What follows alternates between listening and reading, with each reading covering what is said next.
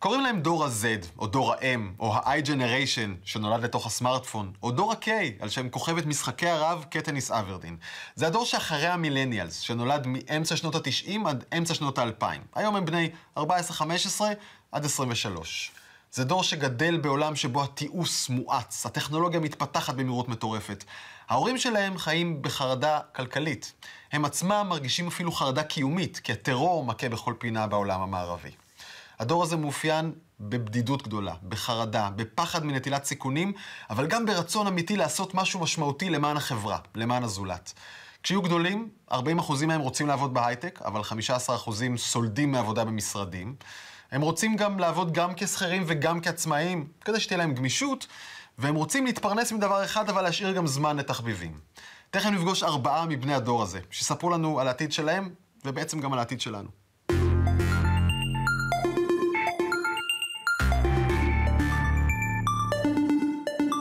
ספיישל נקסט, הצצה מיוחדת למה שמעניין, מעסיק ומפחיד את בני הנוער של ישראל. אני באמת די חרד לעתיד הקרוב שלי. Hands up, everyone in the room who has a teenage child. מלונדון, פרופסור נורינה הרץ, חוקרת בני נוער מהחשובות בעולם, בריאיון מיוחד. This generation are profoundly anxious. At least as far as optimism goes, Israeli teenagers are doing better, Israeli Generation K, than British and American. אם יש לכם מתבגר או מתבגרת בבית, קבלו עצת זהב מפרופסור הרץ.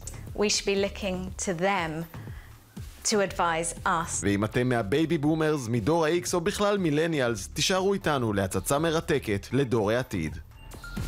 אז קודם, בואו נעשה סדר בדורות. baby boomers, דור ה-X, דור ה-Y.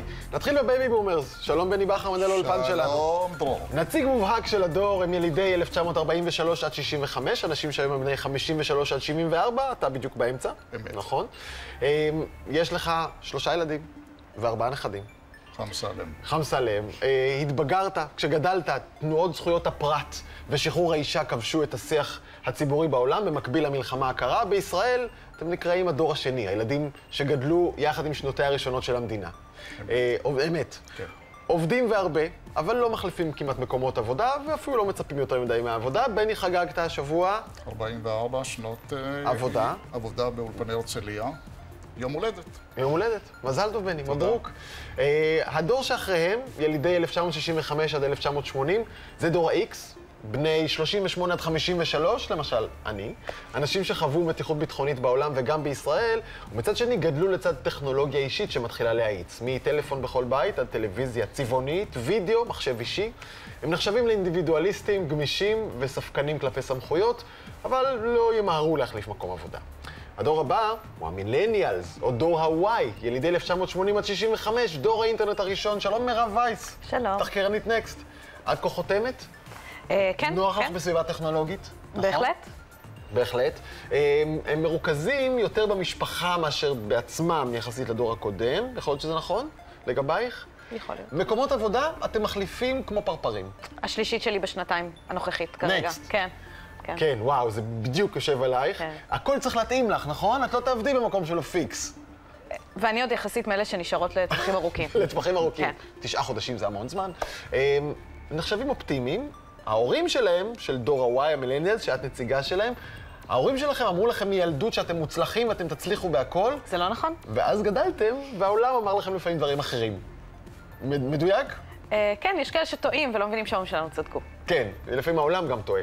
אבל מ-1995 יש לנו דור חדש. רבים קוראים לו ילידי דור ה-Z, או דור ה-K, אם נהיה יותר ספציפיים. ילידי 1995 עד 2003, 2005, הדור שגדל לצד מלחמה עולמית בטרור ומיתון כלכלי עולמי, שלמזלנו על ישראל הוא פסח, דור שתמיד הוא מחובר ורגיל לדלג בין משימות וקשרים, בין עבודה ופנאי, דור שאין לו שום אמון במערכת הפוליטית והכלכלית. הדור הזה, בני 10 עד שנות ה-20 המוקדמות, הולך לעבר עתיד מעורפל מאי פעם. אילו אירועים עיצבו את עולמם? מה מפעים אותם? מה מלחיץ אותם? איתנו בריאיון מיוחד מלונדון חוקרת בני הנוער מהחשובות בעולם. הלו, פרופסור נורינה הרץ. Hi, Draw. Lovely to be on your show. פרופסור נורינה הרץ היא כלכלנית, סופרת ומרצה מבוקשת בכל העולם. Hands up, everyone in the room who has a teenage child. היא חקרה אלפי בני נוער בדור שהיא מכנה דור ה-K, בעיקר בבריטניה ובארצות הברית. המסקנות שלה חשפו דור שונה מאוד מקודמו, המילניאלס, שהיום הם בני 30 פלוס מינוס. איך יראה העתיד של מי שהיום הם בני העשרה? איך מתכוננים אליו? ומה חושבים בני הנוער בישראל? אז בואו ניגש ישר לעניין. Norina, a great deal has been said about the spoiled millennials who feel entitlement and don't like to work hard. Is the younger generation K any different? Yes, I think that's a really big distinction between the older millennials who grew up believing that the world was their oyster. They, they were the yes we can generation.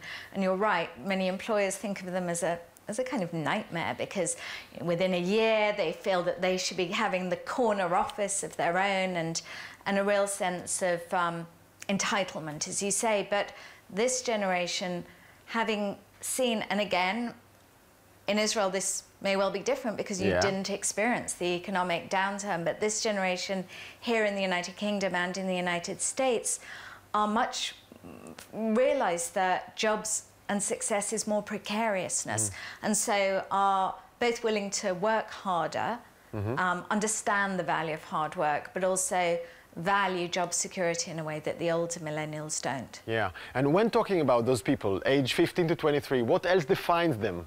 So one of the things that defines what I call Generation K is the fact that they came of age during the post-2008 financial crisis. This generation are profoundly anxious. Yeah. I mean, anxious not only about the kind of things you would expect young people to be anxious about, so boyfriends, girlfriends, college work, uh, but also about global issues, worried about terrorism, worried about the environment, really worried about their own economic futures and their own economic possibilities. Here in the United Kingdom, 79% of this generation are really worried about getting a job.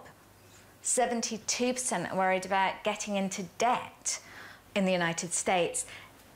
One in five US high school students has contemplated suicide. Wow. In the United Kingdom, there's been a threefold increase in the number of teenagers who self harm over the past decade. So will this anxiety be present in their future as well? These beliefs that form you and shape you when you're a teenager really stay with you for life. Yeah, so being Generation K is not easy, not today and not I think tomorrow. it's tough to be Generation K, and I think they and I think they're entering into a future that is going to be objectively a future with a whole host of new challenges, new challenges ahead that that are going to be hard to navigate. I think this is a difficult time to be a young adult. אנחנו עוד נחזור לפרופסור הרץ. המסקנות שלה נובעות ממחקרים נרחבים שהיא ערכה, אבל ישראל כרגיל מתנהגת קצת אחרת. כינסנו ארבעה מבני הדור שאותו היא חוקרת, ארבעה שנמצאים בנקודת מפנה חשובה גם כישראלים, הם שמיניסטים לפני גיוס. בואו תכירו את לירי גושן, בת 18 מקריית חיים, את עמית סלמן, בת 18 מחולון, ליאור סוקרין, בן 18 מנהריה, והדר גיצין, גם הוא בן 18 מנהריה.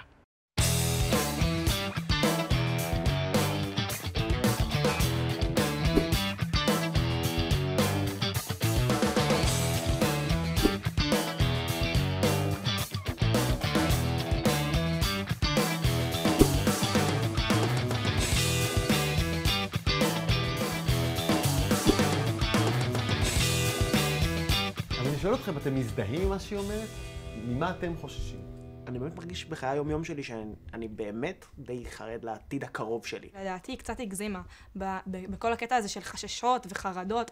אני לא חושבת שאני נמצאת אה, רוב הזמן במצ- במצב של חרדה על הדברים האלה. זה כן מדאיג אותנו, אבל לא ברמה של אה, היום בגיל 18 אני מפחדת שבגיל 30 אני אהיה בחובות מטורפים. באיזשהו מקום אנחנו קצת מחוסנים אפילו מהדברים האלה. בגלל שאנחנו חיים בעולם הזה שהוא הרבה יותר טכנולוגי, הרבה יותר תחרותי, הרבה יותר...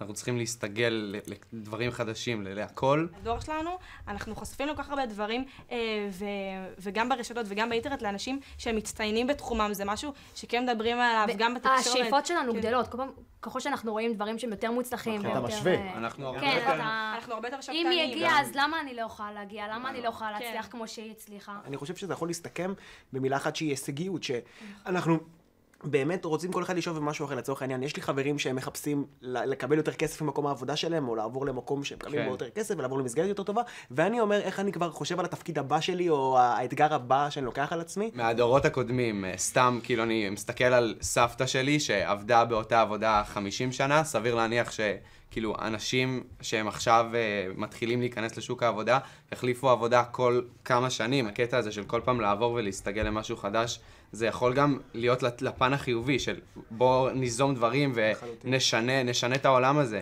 צעירים בגילכם, בבריטניה ובארצות הברית, מאוד מודאגים במצב הביטחוני. מודאגים מפיגועים וטרור. אה, הם מודאגים. הם מודאגים, הם שיהיו מודאגים. אני דווקא חושב שדווקא בגלל שאנחנו חיים בתוך זה, זה פחות מדאיג אותנו. עוד דבר שעולה מהמחקר שבכלל, בניגוד למילניאלס, שהם באמת היו דור ה-yes we can, אנחנו נשנה את העולם, אנחנו נעשות דברים, זה לפחות בעולם, כן? בעולם מה המערבי. אנחנו? אז, אז הדור שלכם זה דור שהוא, בשבילו העולם, ככה לפי המחקר הזה, הוא הרבה יותר אה, סיוט מלחיץ. זה מפחיד לא, לא להספיק את כל הדברים שאתה רוצה, ו- ו- ואולי תישאר מאחור, והנה, יש, יש פה כבר מישהו לידך שהוא כבר מספיק הרבה יותר ממך. אחים שלי אה, לא חשבו יותר מדי. אני חושב ש... אני, אני לא רוצה להכליל כאן את כל הנוער, אבל אני ברמה האישית, אה, והמון מהחברים שלי, חושבים יותר מדי. אני אומרת, הם לא חשבו, אז אולי היה להם קצת יותר כיף. כאילו, הם באו, מה... אחותי, אני זוכרת אותה, אני הייתי בת שמונה, הייתה בת שמונה עשרה, והיא כזאת חזרה מהבית ספר, הייתה יושבת, רואה אותי ארתור, מה שלא היה עוד בטלוויזיה. וזהו, וכאילו, זה היה החיים, ו- והיינו, וזה היה סבבה לגמרי, פתאום עכשיו... ואני אני חוזרת מהבית ספר, ואני יודעת שיש לי לעשות כתבה כזאת, ואני רוצה ללכת לנסות גם את זה, וללכת לזה, ואולי אה, אה, לא הספקתי לעשות עוד משהו, אז אני אעשה עוד משהו, ואז אני מתחילה את היום שלי בשעה אה, שש וחצי בבוקר, ובשביל לסיים כאילו את כל מה שאני רוצה, אז אני מסיימת ב-12 כדי להספיק את הכל. העולם זה הר של איומים וסכנות או הר של הזדמנויות? ההזדמנויות. הר של. הזדמנויות. אנחנו ממשיכים במשדר המיוחד שלנו על דור העתיד, דור ה-Z, דור ה-M, דור ה-K. היום הם בני 14-15 עד 23, הם העתיד של מדינת ישראל, הם העתיד של העולם. מה מכניס להם חרדות? מה מסעיר אותם? לאן הם לוקחים אותנו? אנחנו ממשיכים עם פרופסור נורינה הרץ. Professor Hertz, we spoke about anxiety. How does it affect their day-to-day life? Do they go wild? So the anxiety at the moment is kind of not going into these more risky behaviours. Interestingly, this generation are more anxious, but they're taking less drugs, um, drinking less alcohol, having less unprotected sex than previous generations, um, smoking less. Although interestingly, Israeli teenagers smoke significantly more than um, American and British when I looked at recent data. Yeah, that's a problem. Uh, how do they feel with regard to their cellular usage habits? Over half of Generation K feel that they are addicted to their smartphone. I have increasingly come across uh, young people of this generation who are saying that they are consciously trying to disconnect more. Yeah, and can they disconnect from the mobiles being their principal stream of human interaction? One of the things that came out really strongly from my research, and I hadn't expected when I started researching it, was how lonely this generation is. I had thought that this generation, who were always connected, always on their phones, always texting, would actually feel part of society, would feel that they had loads of friends, um, Right. would feel connected, and yet they don't, despite or perhaps because of social media. They actually feel really lonely. What I found was that young people still really valued face to face interaction and connection, whether it's concerts or. Um, or, or escape rooms that are becoming increasingly popular. So, activities that this generation can do together, um, these are particularly popular. האם הם באמת שואפים להתנתק מהסלולרי? האבחונים של פרופסור נורינה הרץ מרתקים, ואנחנו חוזרים לעמית, ללירי, להדר ולליאור, שהפעם דווקא מסכימים איתה בנקודות חשובות. אה, טלפונים עליכם? כנסו רגע לאינסטגרמים שלכם. מה הקשר בין התמונות ובין איך שהיום-יום שלכם?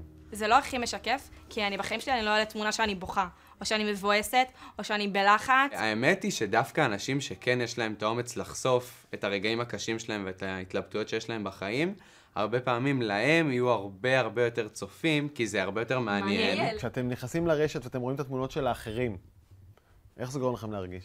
זה מבאס נניח, שאתה רואה תמונות של, אה, ש- שאת רואה למשל תמונות של בנות הרבה יותר יפות ממך ו- ו- ורזות ממך, אבל את לא רואה את כל העבודה הקשה שהייתה להם, עד שהם הגיעו אל הגוף הזה, או, או כמה שכבות של איפור הם שמו. אני, אני חושב שאין אין תחליף למפגש החברתי, ואני מד- אני מדריך בתנועה, והדרישה שלי מחניכים זה קודם כל שיגיעו, ודבר ש, דבר שני, שיכבו את הטלפונים כשהם בפעולה. התקשורת הבין-אישית שלנו, ה- הלא מתווכת, היא קצת נפלה בין הכיסאות. היום אנחנו מעבירים אה, רגש באימוג'י. אני יכולה גם להגיד על עצמי שהח... שהקשרים הכי משמעותיים שלי זה עם חברות ש...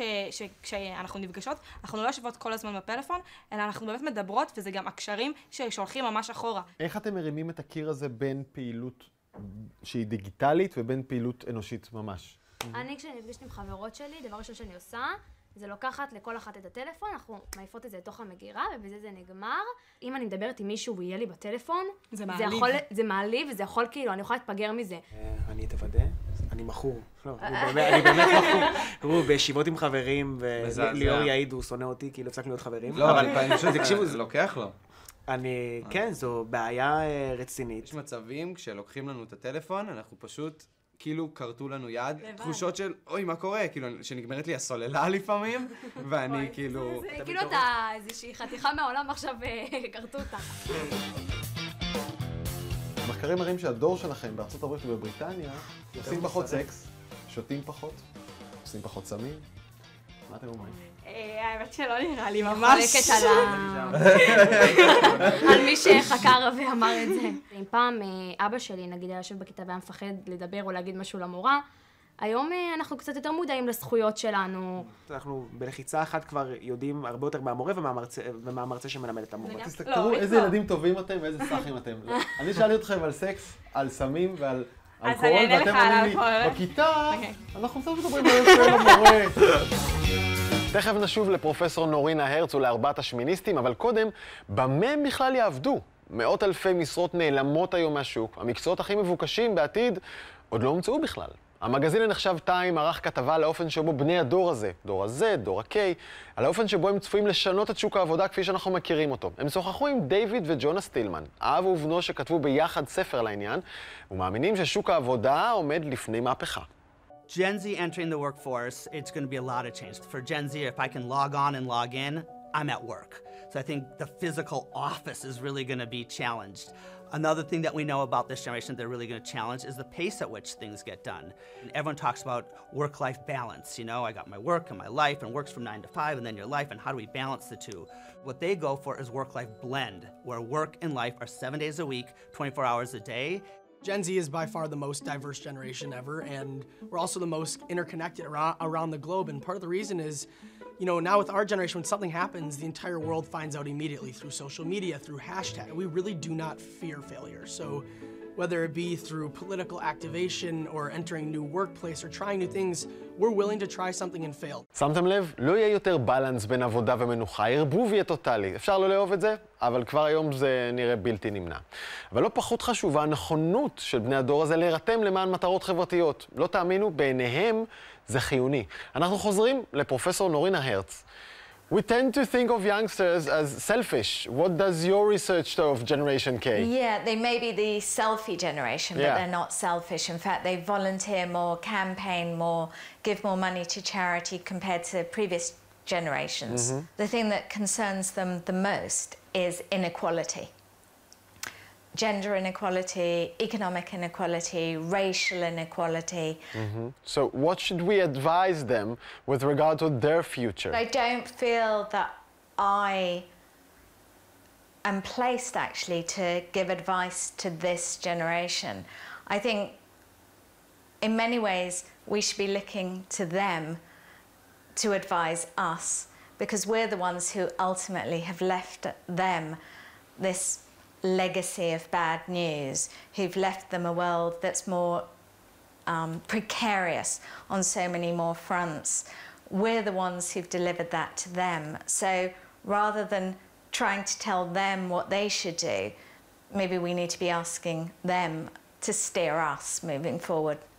So, uh, what would you advise the parents of Generation K I mean, I think, us?